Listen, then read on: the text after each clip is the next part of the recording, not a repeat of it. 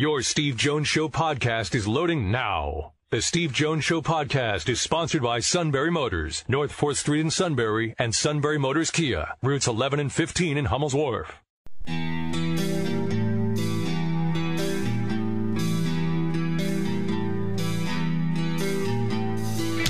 Sports talk where your voice counts. This is the Steve Jones Show on News Radio 1070 WKOK. Now, from the Sunbury Motors Studio, here's Steve Jones. Sunbury Motors, 4th Street in Sunbury. Sunbury Motors Kia, routes 11 and 15, Hummel's Wharf online at sunburymotors.com. Ford, Kia, Hyundai, the best in new inventory with great warranties. Great pre-owned inventory with the Sunbury Motors guarantee. And a service department that's second to none. So much business, they need even more technicians. They take care of everything, routine to the difficult. They do it with ease. It's all at Sunbury Motors, 4th Street in Sunbury. Sunbury Motors, Kia, routes 11 and 15, Hummel's Wharf. Online at sunburymotors.com. All right. Let's get the show off on the right track. The Matt Catrillo rant of the day. well, if what I in your world, what in your world is quote stupid today? Well, one thing, if if you're a Jet fan, if you can stomach any more thing, bringing in Nathaniel Hackett as your offensive coordinator, get ready to see a lot of punt, pass, run, punt. Well, okay. Um, some guys are made to be coordinators, and others are made to be, uh, and others head coaches. Being a head coach as opposed to being a coordinator is a different ball game. Correct. And at Green Bay, at Green Bay, he had success. And some people, it's you know, uh, they can you know they can go be a head coach and they handle a complete ease, and they've got a, and others go from taking care of one side of the ball to now handling the whole show, and they can't do it. So he might be, he might be, and I don't know the man at all. He might be better suited just to take care of one side of the ball. I don't know. Yeah, there are guys that are better coordinators than than head coaches. I just thought that was just funny that he picks of all teams to go to the Jets, and I feel for Jet fans there. But then there's this other thing that I, I was kind of irked by, and this goes by one Brian Kelly. I don't know if you saw this with his the contract, one, the one million dollar overpayment. Yeah, don't I don't I don't believe for one second that he didn't that he accidentally didn't know that he got paid an extra million dollars with that crazy contract he got in the first place. And you know what? He probably went to the athletic director with his stupid fake southern accent and said, "You know what? I think I got paid a little too much." Yeah. Isn't Number it- one fraud yet again. Isn't it? Uh, one check went to him to his account, but then one went to his LLC or something like that. Correct. Yeah. But still, I don't buy for a second that he didn't know he got paid an extra million dollars. Please. That's just as bad as his southern accent. Not a fan. No, señor! No, señor! No, señor! Yeah, I guess they're they're going to rectify that at the end of the fiscal year. Like, okay, that was a little different. I don't think I've ever encountered that before in sports, where some I got overpaid. really? And what the heck does he have an LLC for?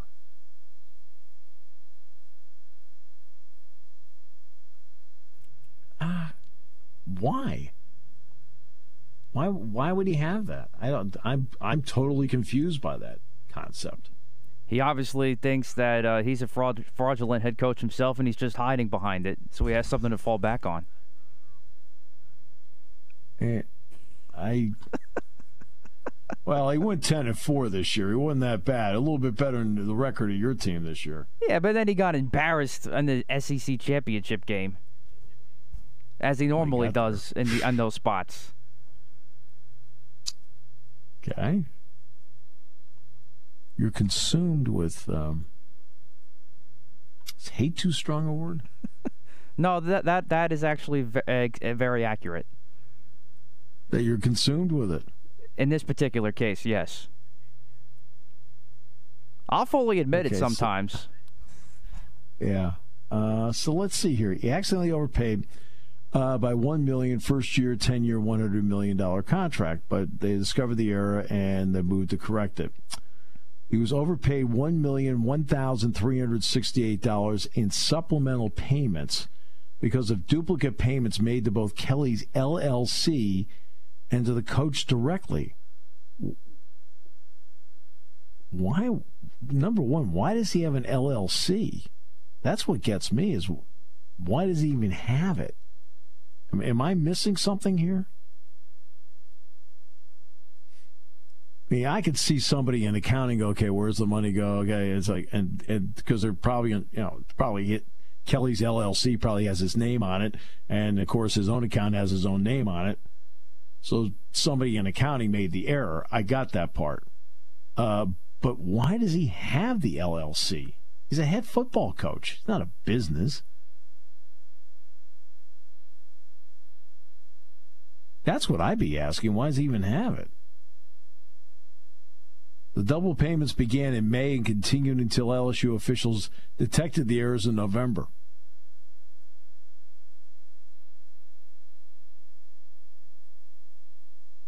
Okay.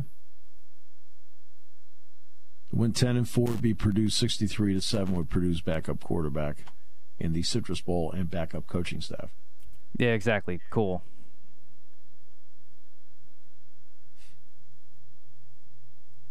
What was Notre Dame's record this year? Eight and four, but they still won their bowl game against uh, an actually like quality opponent.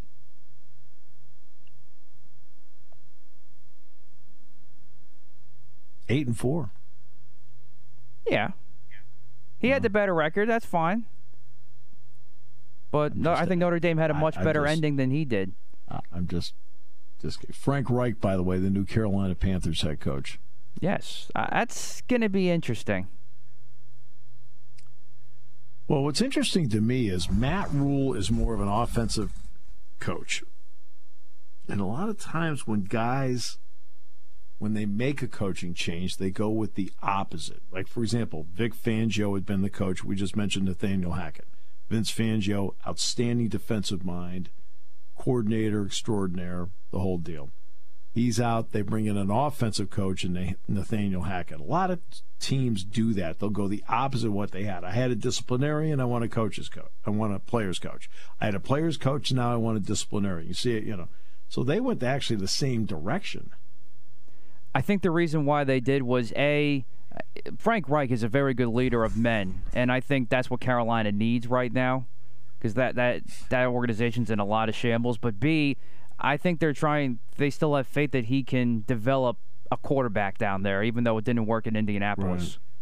Yeah, Steve Wilks, by the way, was doing a good job. I thought filling in. Uh, let's see, uh, Dennis Dodd. Um, San Diego State makes an easy case for Pac-12 expansion. Uh, they've got a new stadium down there. You know, it's only it's uh, thirty-five thousand seats, uh, which is probably the right number for what San Diego State wants to do, even if they're in the Pac-12. It seems like the right thing to do. I this is something I have talked about many, many times, and I know there's going to be a lot of discussion about Beaver Stadium.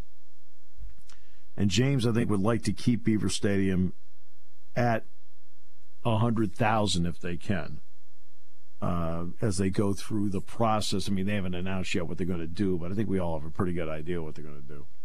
Uh, and he'd like to keep it at a hundred thousand, you know, because Alabama's right about a hundred, Texas is about a hundred, Kyle Field at Texas A&M is about a hundred, uh, Ohio State's slightly better than a hundred. Uh, Michigan is uh, technically is like like Penn State's actually they we talk about Beaver Beaver Stadium 107 strong and the whole thing. Beaver Stadium is 106,000 I think 600 700 something like that. So they they lost seats when they did the ADA renovation a few years ago. And Michigan's like 107,000 plus in terms of actual seats in the building. Uh, I think James, I think, would like to keep it at minimum 100,000. I didn't say 107, but at minimum 100,000. But I think you're going to find more and more stadiums are going to, and I've, this is something I've talked about for years, so this is not new territory. That as time goes with TV, tickets, and so forth, okay, less might be more. You notice that in Buffalo, which at one point, Ralph Wilson Stadium, which is now, I think, Highmark Stadium, at one point, that place had 80,000 seats. Now, of course, they have luxury suites and so forth that they, they had put in there that took some seats out. But their new stadium is going to be 65,000 seats. Uh, Washington. You can complain. You, you, know, you can sit there and go because of Daniel Snyder all you want. You got to you got to take the emotion out of this stuff when you're talking about logic, please. So don't get into what Daniel Snyder's done to, to Washington. That is irrelevant to this conversation. Completely irrelevant. If you want to spout off about it because it makes you feel good, that's fine. I don't deal in that. But you notice the stadium he's considering building in Woodbridge is 55,000. And at one point, that stadium in Landover did seat 90. I think it was 92, something like that. And over time, and in part because of what he's done, fewer and fewer people have gone out there. But in building a new stadium, he's looking at 55. And I think that's going to be the trend more and more as time goes, uh, because uh, I think because of television, less can be more for you. That's why the one that really surprised me was Los Angeles.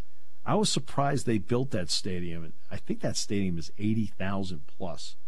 I thought for sure that stadium would end up being like 65 or something like that.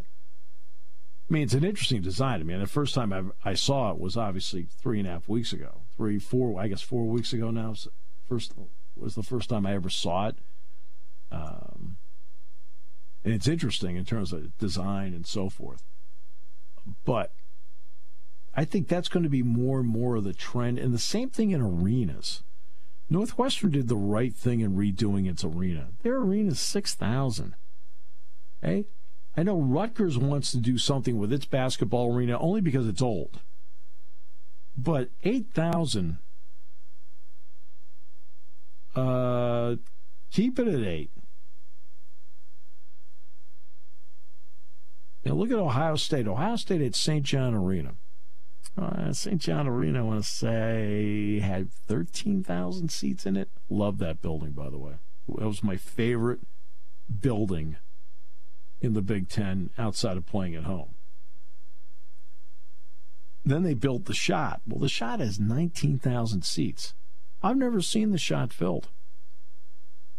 I think the most I've ever seen in there for a Penn State game was 14,000. It's just, I mean, it's just the way it is. I mean, even when I went to the Breslin Center in a year ago, you know, 14,000, yeah, the seats are sold. People, are a lot of empty seats in the upper deck. A lot of empty seats. So I don't care whether it's football or basketball. I think there's going to be a trend to put boxes in luxury suites, club seats, and things like that. And the the seats in the bowl or whatever the design of the building happens to be, whether it's a stadium or an arena, I think you're going to have fewer of them. And I've, that's a trend I've talked about for a long time. That is not something that's not new. Like, oh, I made the same conver- I had the same conversation ten years ago, and I think you're seeing the fruits of it now. So, why Los Angeles was the one that surprised me. I think SoFi Stadium is eight, at least eighty thousand. Let me see here. Oh, yeah, some great stuff coming up there. Yeah, who cares? Um, SoFi Stadium is ding, ding, ding, ding, ding. Come on. 70,240 expandable to 100,240 for major events. So, for example, you hold the Olympic opening ceremony there, you can get a hundred thousand in there. So it is uh, seventy thousand.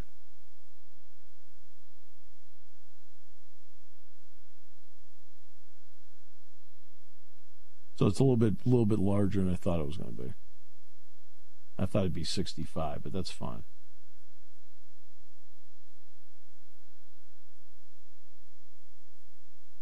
And sucker was expensive too. Where's the price tag on it?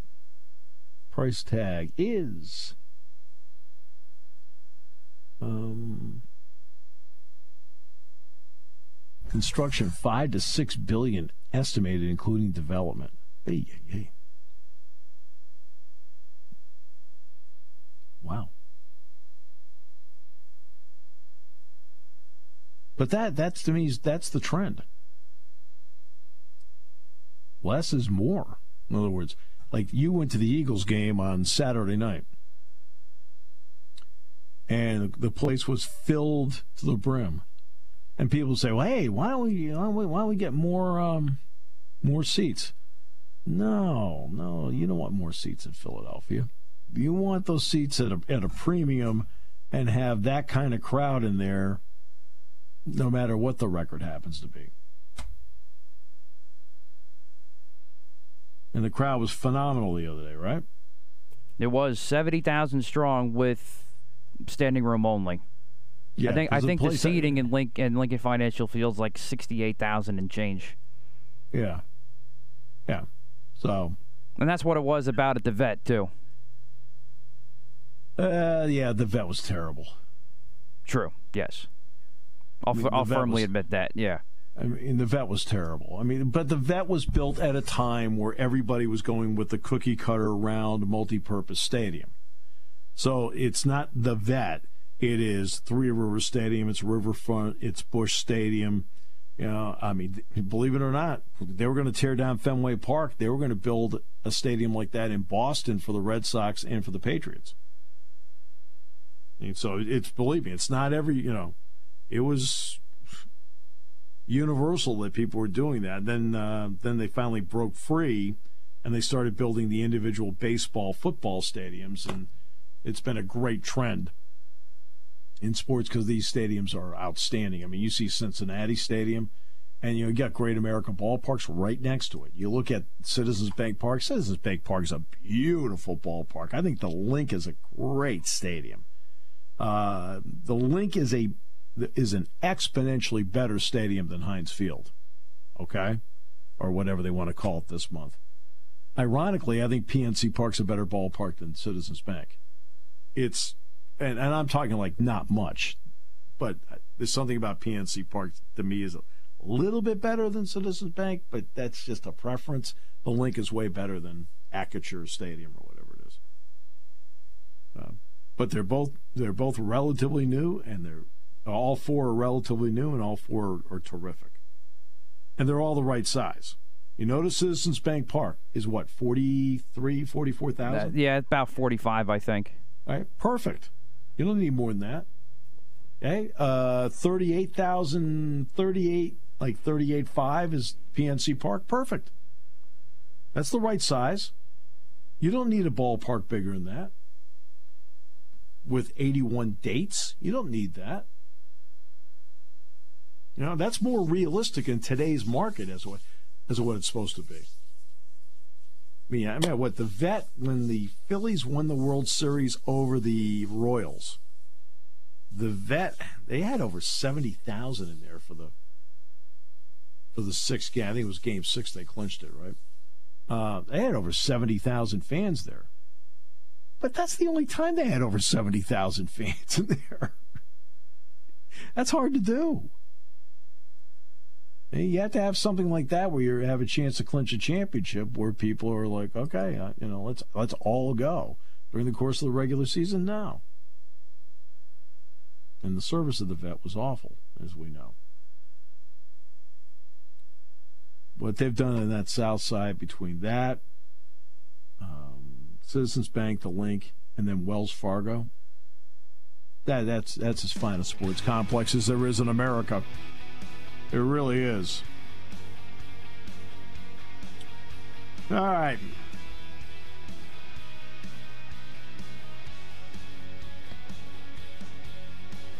Can the Eagles stop the unstoppable Brock Purdy?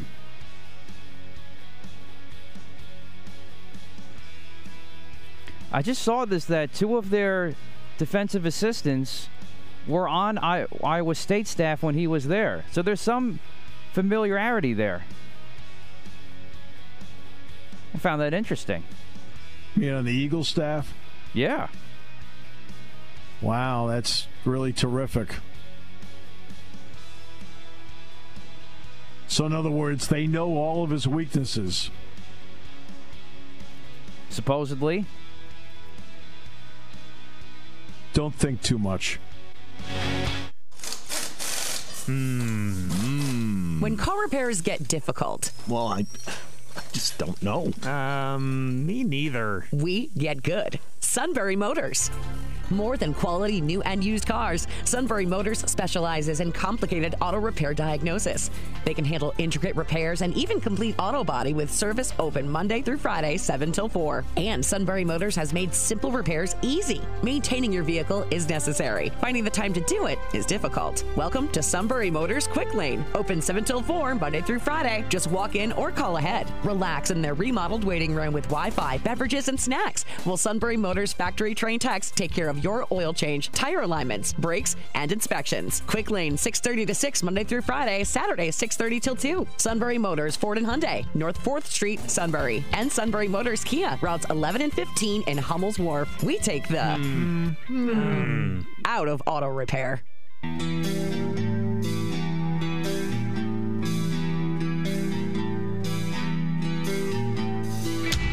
Sports talk where your voice counts. This is the Steve Jones Show on News Radio 1070 WKOK. Now, from the Sunbury Motor Studio, here's Steve Jones. So, let me ask you something. These guys that are Iowa State with Brock Purdy, that you think now gives you a massive advantage. When they were at Iowa State with him, did was he throwing the ball to George Kittle? no, that that would be correct. That would be incorrect Uh, because George Kittle uh, was on the other side Iowa. of, this, of Yeah. Iowa. Yeah. Was he throwing it to Deebo Samuel? No. Was Christian McCaffrey his tailback? No. I didn't say it would help him, but I just thought it was interesting to throw out there. That's all. Not saying it's going to affect the game by any means, but it's out there. It's there. Just hate another observation of mine. That's all. You, you hate the logic of this show, don't you? Sometimes. It it it, it, it, it this show I think mentally kills you.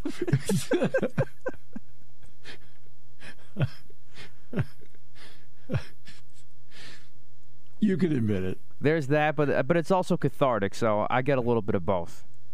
There you go. Perfect. I'm glad I can help out in some regard. Oh my goodness. All right. Today's show brought to you by Sunbury Motors, 4th Street in Sunbury. Sunbury Motors, Kia Routes 11 and 15, Hummels Wharf online at sunburymotors.com. Good friend, outstanding writer, reporter, Jon Sauber, Centre Daily Times. Jon, how have you been? I'm doing well, Steve. Uh, as an Eagles fan, this weekend has been nerve wracking. This is the way it is for all of you. I mean, Yeah. this poor guy, this poor guy I'm working with, right? You want to know why his weight's way down? Because of all the pacing he does. Listen, I don't, I don't pace. I just turn into a deranged person when I'm watching the Eagles. Uh, I, I always tell everyone, like, listen, people want me to watch games with them and stuff, I was like, I got to be in my basement by myself. Like, my wife and dog aren't around me. I'm alone because that's the only person I want to see me act that way. Matt, go ahead. I concur, Jon. I feel your pain. Yeah, it's just too much to watch with other people. It's it, it's overwhelming emotionally. It can be. Yeah, absolutely. This Sunday's no different. Yeah, this Sunday I will be locked in my basement like always. Right after Penn State plays Michigan too, so I'll be rushing home. There you go. Perfect. So let's get to this. Then we'll get back to the emotional problems the two of you have. Uh, Jon, Jon, let's face it. Uh, the assessment that that Micah gave to Dick and me in the post game show was exactly the same as he gave to the media in the media room. It was blunt and to the point. What were your thoughts? Yeah, I, I you know tend to agree with a lot of uh, Micah's basketball philosophy. Um, and you know, I get where he's coming from, right? That they need someone to step up. But to me, like, listen, sometimes you're going to make four threes, and you're just not going to win those games, right? And I think uh, that might seem like oversimplification, but at the end of the day, like, that's a major reason why they lost that game, right? Like, I know it it looks like because it was a 20 point loss, but realistically, it was closer to like 10 or 12 before the starters came off the court. And then if you're talking, you know, they make the normal amount of threes, then it's a, you know a very very close game. Uh, and so I think sometimes you just go cold, right, and shots aren't falling, uh, and it's easy for especially fans to like fall into the like you know doom and gloom with every game. But this is a 30 plus game season. You know, it's I, I even tweeted about this that I there's a lot of consternation about that that Rutgers loss. I, am going to be honest. I, I, don't know of many people that thought they were going into Rutgers and winning. Uh, Jersey Mike's Arena, uh, I still call it the RAC all the time, but it, it, it's so one of the toughest I. places to play in the country. I mean, I still call it that till they give me a Jersey Mike sub, and I go, "Hey, yeah, Jersey That's Mike's right. Arena." I'm like, oh, "Yeah, I do that." uh, well, th- your point about the threes. Penn State was three of 13 in the first half in threes, and Dick Jerardi and I looked at each other and said, "Well, it can't get worse in the second half," and it was one of 13. Uh, because one of the keys, you know, we, we throw out keys to the game before every game. Look, we got to kill time to get to the tip off, Jon. so, okay. So, uh, and I said one of the keys will be Penn State's ability to have more threes than turnovers which, by the way, if you look at Penn State stats, they have made more threes than they've had turnovers this year, which is a remarkable statistic. Well, they had seven turnovers in the game on, on Tuesday night, and they only made four threes. You get four more, now it, now it becomes a game like you're talking about, especially if it, you think it's a 12 point game. Guess what? You make four more and get to eight as opposed to the seven turnovers. It's a tie. Yep. It, it, it is you know, I, I see people like complain about this style of play too, right? Like that, that uh, you know they're shooting too many threes, that they need to go to something else. Quite frankly, like this is this is the offense, right? Like I, I don't know what the alternative is with this group of players in particular.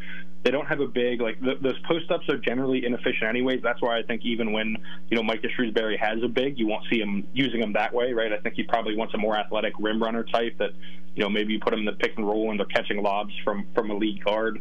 Uh, those mid range shots like they're they're less efficient than threes, so you may as well be taking the threes because they were open. That's the other thing about this. Like there were a lot of threes they missed that I was like, oh man, they they hit those shots like eight out of ten yeah. times, and suddenly they're missing like four, what felt like 14, 15 in a row.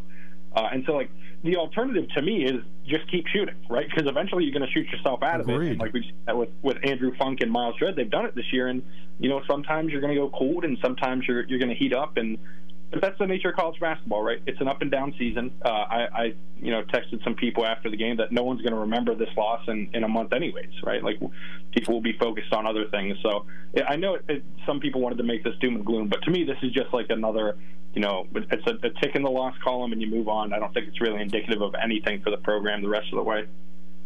I, I, think if there's an area defensively, and I'm going to ask him about this on the talk show tonight, so we'll find out if this if what I'm about to say has any validity or not. I may get one of those. No, you're wrong. All right, which is which is fine. That's why I ask questions. But I'll, That's right. give this. I think that as much as we could talk about post defense, and that certainly is something that in this league you have to have. I think you have to make the post entry pass more difficult. And I think that's uh, that that's going to be part of what I think he's going to talk about. In other words, I'm on the wing. Don't make it easy for them to enter from the wing, right? You've got to be tougher out there, and I think that might be part of what he's talking about. Yeah, I think that point of attack defense is so big, uh, especially with you know, it, it, you mentioned the post defense. It's not just that; it's that when other teams get to the rim, they can finish pretty easily, right? Because Penn State doesn't yeah. have a, you know, a rim protector back there. Um, so they need to be better at the point of attack and not letting guys get by them first and foremost. And I think you're right. Like those post entries are a little bit too easy sometimes. Um, I, I think they could front the post a little more and then help on the backside if they try to go over the top.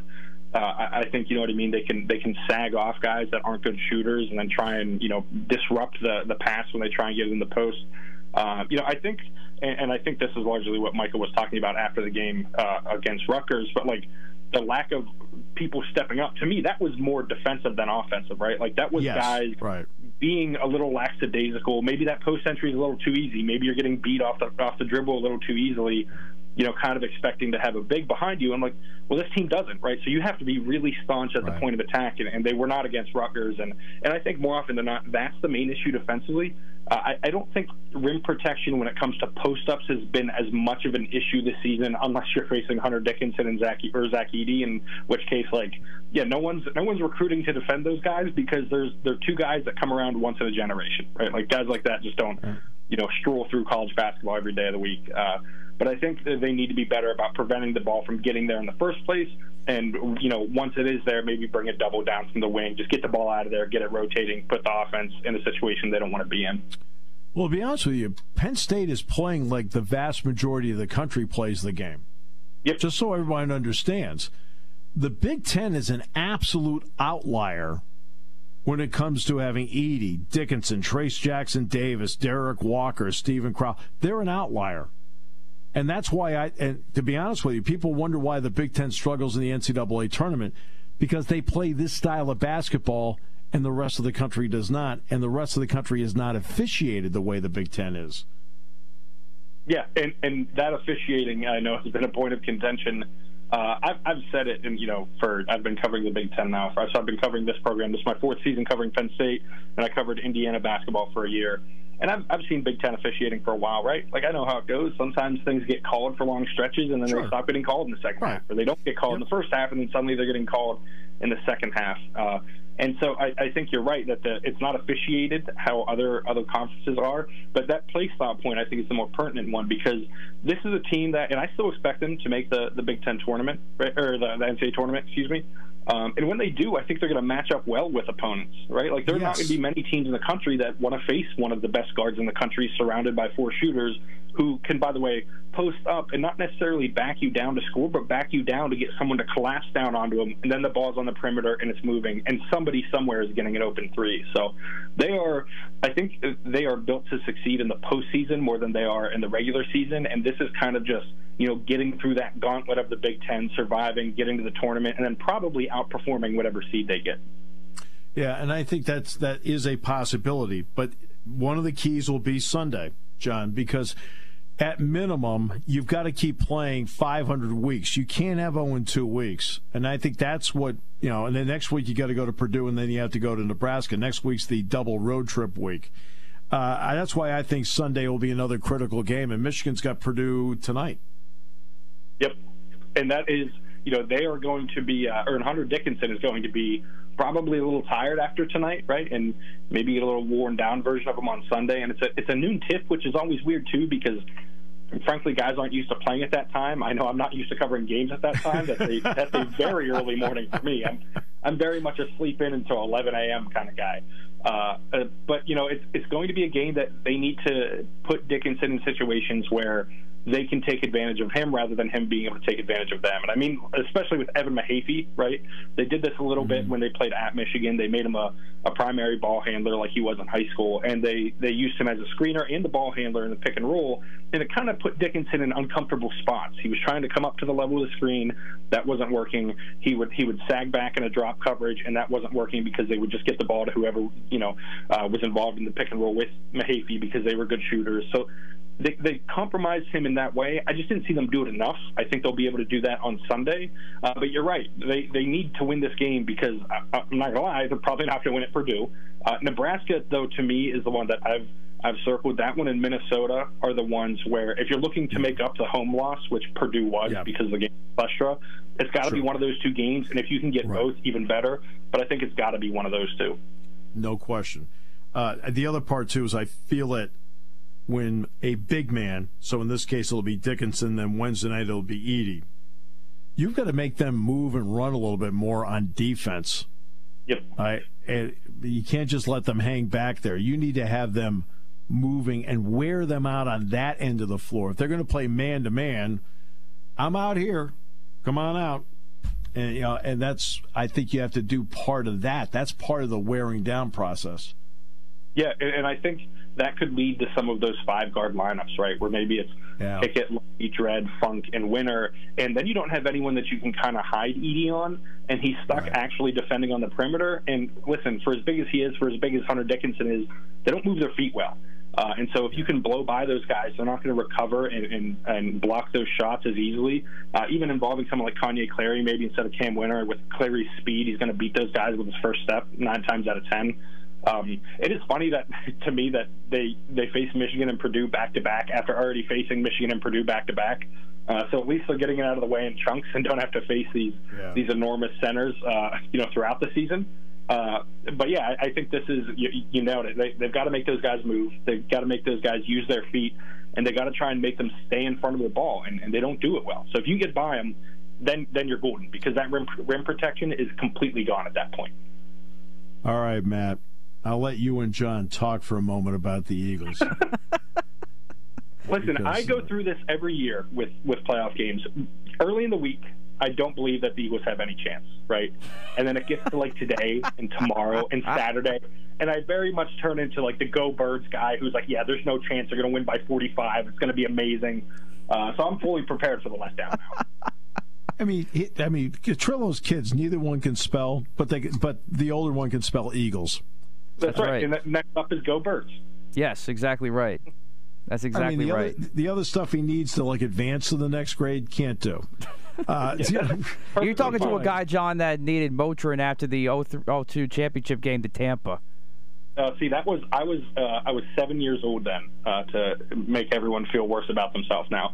Uh, but I was seven years old then. The first game I remember was the Eagles' first Super Bowl against the Patriots. The Rodney Harrison interception. Yes. The first I can remember as a nine-year-old, and I got to tell you, that's not a fun first football memory. No, no, I'm right there with you. I was I was right around your age. I was in sixth grade when they lost that Super Bowl. Yeah, it was it was brutal. Yeah. absolutely. Brutal. But I like the Eagles this week. I'm going 26-21 Eagles.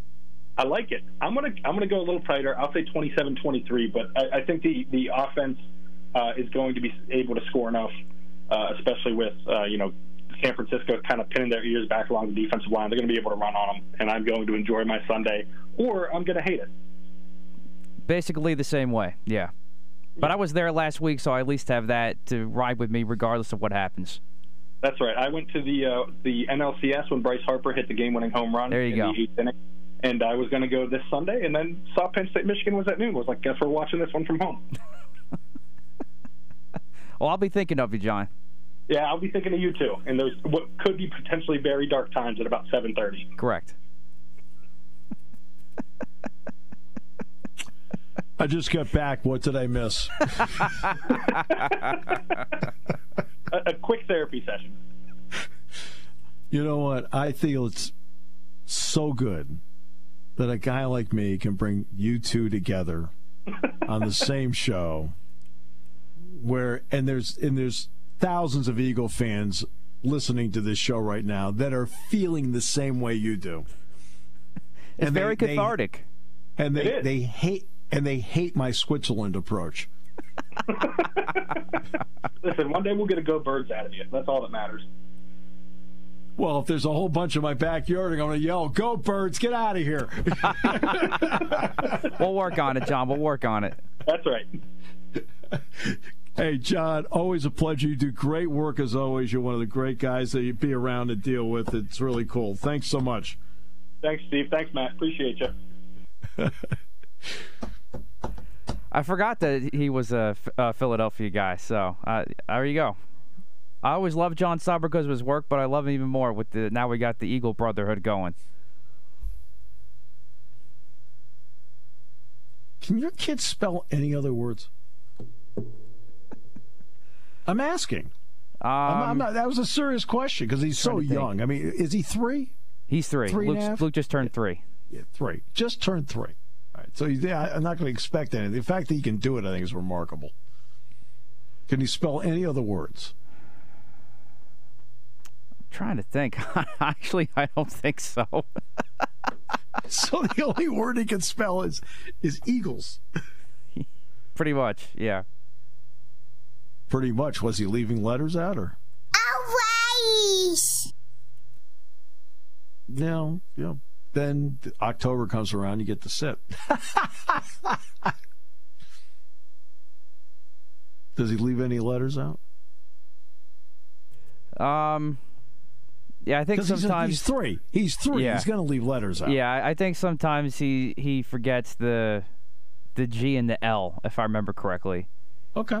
Yeah, It's all right. he starts like E A, and then it's like gibberish, and then I, S I, Eagles. I think it, I think it's so cool. He's into uh, he's into the stuff you're into, and I think that is really cool. I mean, as a father, that's got to be a, a neat thing. yes, and Mark's getting there too with learning his Eagles ABCs, his board book that I read to him every night. C is for championships, or the lack thereof. Let's go to D. D is for Dunkirk. That's how Eagles fans feel after NFC championship games. All right, so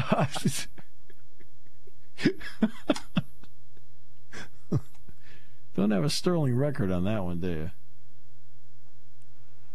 NFC Um, title no. games, for the most part, not good. No, But it doesn't matter. All that matters is about this week.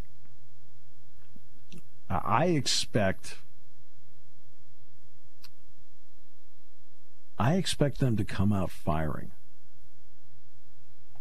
on Sunday, I'm kind of feeling the same way, honestly. like out of the gate. Now, now whether they can sustain that, I don't know. That's Right. that's going to be the that's the mystery of the game. But I expect them. to- I mean, I don't think that I don't think it's going to be a soft approach in any way, shape, or form. I think they're going to come out firing, and they're going to try and put San Francisco on their heels, especially early in the game. Because as a pass rush, you're not going to sit there wanting to unleash your pass rush because early in the game it's not an obvious passing situation Right. especially on early downs. I wouldn't doubt. I mean, they they won't abandon the running game, but I wouldn't be surprised if the first twenty plays the Eagles run.